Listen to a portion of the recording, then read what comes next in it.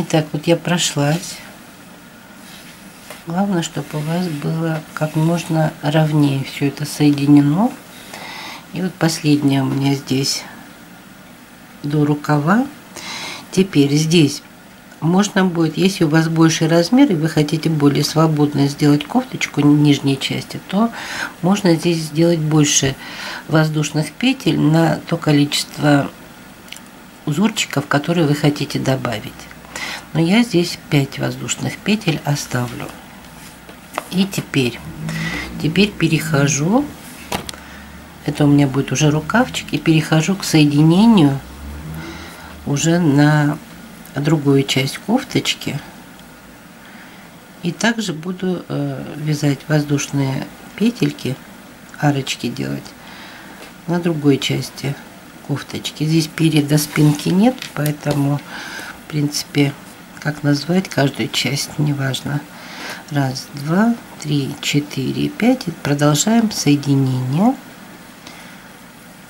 Так, соединила. Где у меня здесь следующая арка?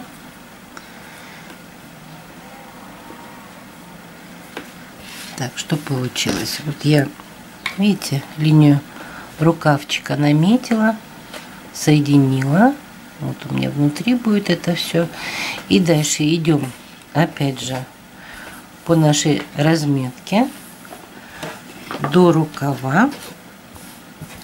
До рукава. Опять 5 воздушных петель и соединяем с началом вязания. Ну здесь я вам покажу. И дальше уже пойдем на рисунок. Итак, вот я другую сторону также прошлась и опять же после последней отметки 5 воздушных петель и соединяем с началом нашего вязания там где мы делали соединение.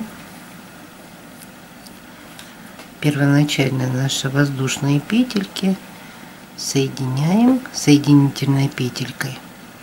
И здесь вот можно перейти и вязать уже узор. Так, давайте я вам еще покажу, что у нас должно получиться. Вот наша ширина кофточки. Как я сказала, она будет свободного покроя, а, как бы складками будет идти вниз. Если вы хотите в обтяжку, можете убрать по одному мотивчику и сделать э, вот это соединение чуть уже. Ну, а то, что рукавчик пошире будет, ничего в этом страшного нет. Оно как крылышко свободного покроя будет идти. Вот. И теперь мы начнем вязать по кругу узорчик. Узор можно здесь в нижней части вязать абсолютно любой.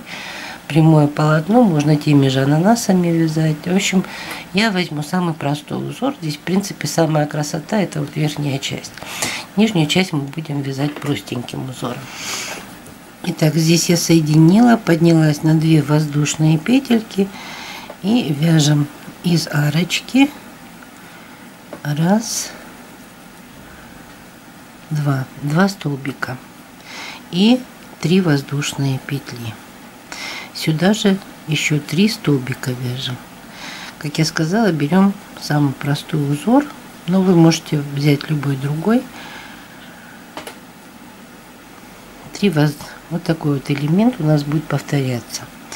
Теперь раз, два, три воздушные петельки. В следующую арку просто соединяем.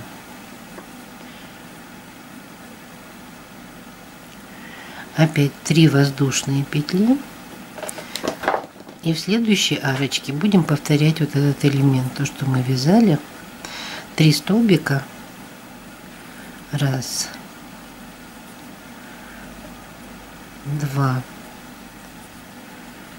три три воздушные петли и 3 столбика сюда же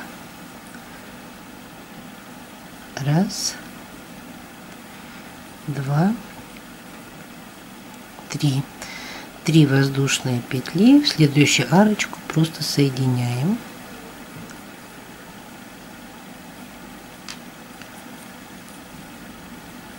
И три воздушные петли и так далее. То есть чередуете элемент, состоящий Вот из такой, такой вот элементик и, след, и в следующей арочке просто соединение. Столбик без накида. Вот так вот вяжем по кругу до конца ряда. Так закончила я ряд. Здесь у меня не поместилось еще один такой вот элемент но а, в принципе можно и так вот сделать. Но можно даже немножко подтянуть. Здесь у меня один элементик и я под а, проймой сделаю соединение. И еще три воздушные петли. Здесь можно подогнать узорчик немножко если вдруг не хватает арочек.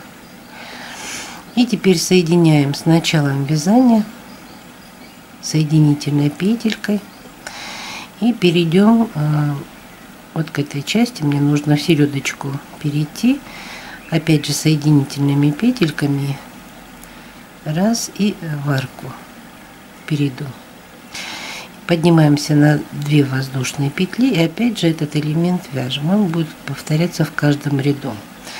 То есть 2 столбика 3 воздушные петли и сюда же 3 столбика раз. Два. Три. И теперь раз два три четыре пять воздушных петель. И вяжем следующий элемент. Раз. Два. Три и три воздушные петли. И сюда же еще три столбика и 5 воздушных петель Вот будем вязать вот таким вот образом, чередуя первый ряд и второй ряд. То есть в следующем ряду повторять будете вот этот, соединяя, соединяя три воздушные с арочкой. Вот так вот можно вязать на любую длину. Если это туничка, то подлиннее, если кофточка, то покороче. Можно и как платье его связать вообще длинное. Ну, там уже вы смотрите, что именно вы будете вязать. Так вот вяжем дальше. Итак, я связала вот нижнюю часть. Вы можете э, любой длиной вязать, но у меня нитки мало, поэтому я чуть короче сделала. И у меня здесь вот таких вот полных элементов, здесь половинка, а полных элементов раз, два, три, четыре, пять, шесть, семь, восемь и еще не полностью узор. И теперь будем вязать нижнюю часть, вот, э, вот этот ананасик я внизу решила связать. И начнем его вот с этого ряда. Вот он, вот этот ряд идет. Так, что у нас тут? Давайте я вам покажу, как я его буду начинать вязать, а дальше вы уже сами. Так, заканчиваем.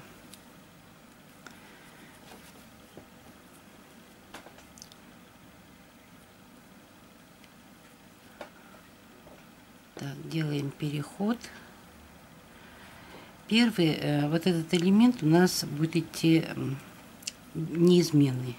Мы его не будем менять. А сам ананасик будем уже между этими элементами вводить. Этот элемент мы свяжем.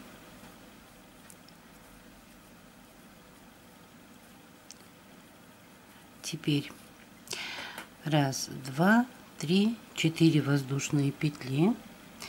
И вот здесь вот начинаем, как там вот я показывала вам, 5 э, столбик, 5 или 4 столбика, как вы там вязали.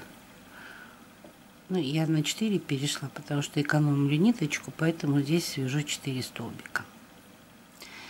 Теперь 3 воздушные петли, вот как мы вязали на ананасике в начале, точно так же и вяжем. Раз, два, три и э, здесь 4 или 5 столбиков. Раз,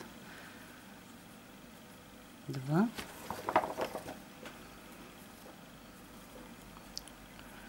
три и четыре я вяжу. И э, раз, два, три, четыре воздушные петли. И опять повторяем вот этот элемент. Он у нас без изменений. Раз, два, 3 и 3 воздушные и 3 столбика. Теперь давайте я вам расскажу, что у вас там должно быть, где изменения.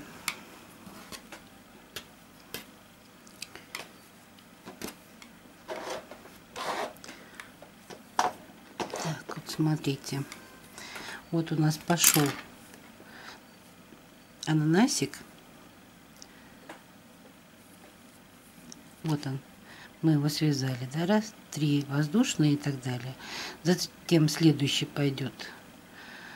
Эм, там у нас было 5 или 6 да, воздушных. И дальше переходите на вот ножку. Просто можете перемотать и так далее. А вот эта вот часть у нас, вот эта вот часть, она заменяет вот это разделение у нас будет пока ананасик будет расширяться,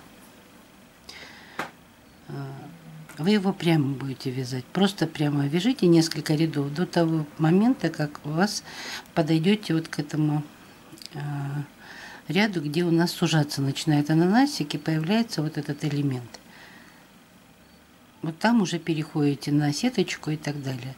То есть повторяете узор. Ну, дальше я вам свяжу, и вы уже наглядно увидите, как это будет смотреться. То есть повторяем вот эту часть здесь. Можно, конечно, э, вместо вот этого элемента, если вам трудно будет разобраться, вы можете начинать... Давайте сейчас посмотрим, где у нас начинается вот этот узорчик. Так, здесь у нас, ну, здесь у нас э, заканчивался ананас, поэтому вы можете его так и оставить, как я вам показала. А вот со следующего ряда, со следующего, вот так вот три арочки и дальше просто э, по самому уроку дальше вязать так. В принципе, можно и так. То есть вот следующий ряд у вас будет, следующий ряд, да.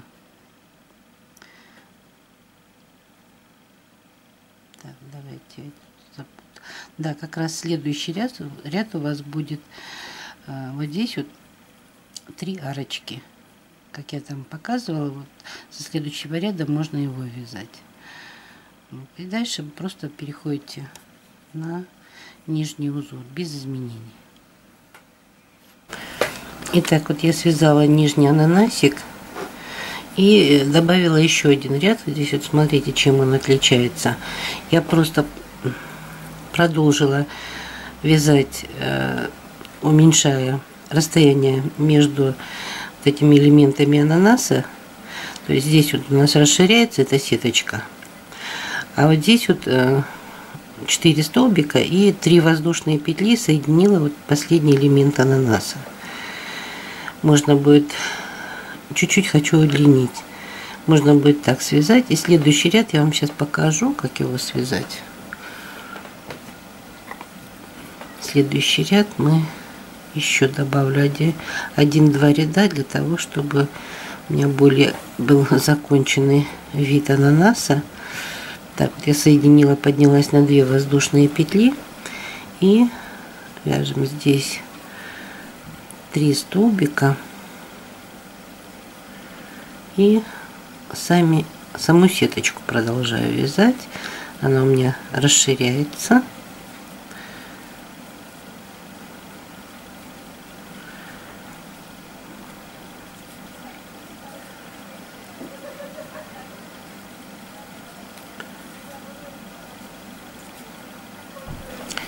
Так вот сеточку я связала. И теперь вот я просто соединю э, два элемента в один. И смотрите как. Свяжу один столбик. Накид сделаем. Я, видите, не до конца его связала. И второй возьму со второго элемента. И потом уже все вместе и закончила. И дальше опять сеточка. Получится как бы законченный ананас. Так, смотрим. Вот такой вот вид законченный у нас получился ананасик. Мы закрыли и полностью уже сеточка соединилась друг с другом. Здесь уже можно продолжить э, вязание каймы, как мы вязали наверху. Но, возможно, я сейчас подумаю и, может быть, еще добавлю какой-то элемент, но я вам это покажу. Вот так я закончила низ, я все-таки оставила то, что мы делали на кокетке. Единственное, что я удлинила вот эту цепочку из воздушных петель. Здесь я 5 сделала. 5 воздушных петель. Так, ну и теперь осталось отделать горловину, чтобы у нас был более законченный вид. И начинаем обвязку где-то, в принципе, совершенно не важно, с какой стороны будем делать. Возьмем самую простенькую обвязочку.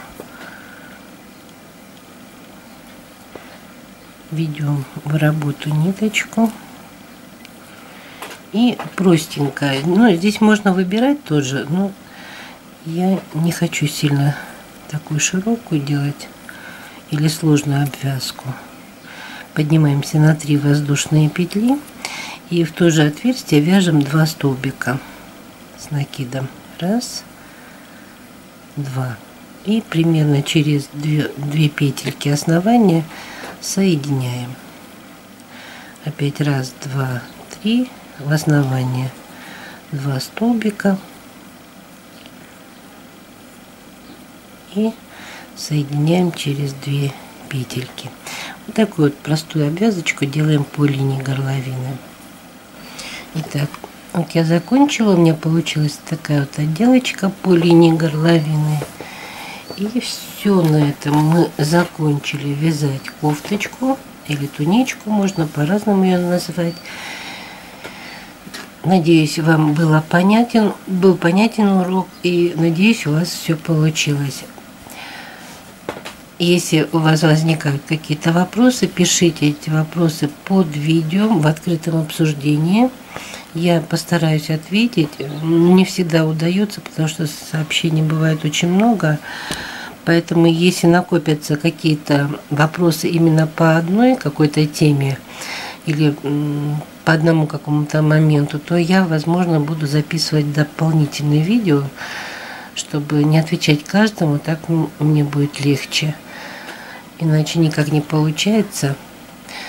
Вот, и до свидания, до следующих встреч. И, конечно же, если вам понравилось видео, делитесь с друзьями, ставьте лайки, добавляйте ролики себе. Это не возбраняется. Просто скопируйте адрес ролика и добавляйте себе на страничку. И до свидания, до следующих встреч.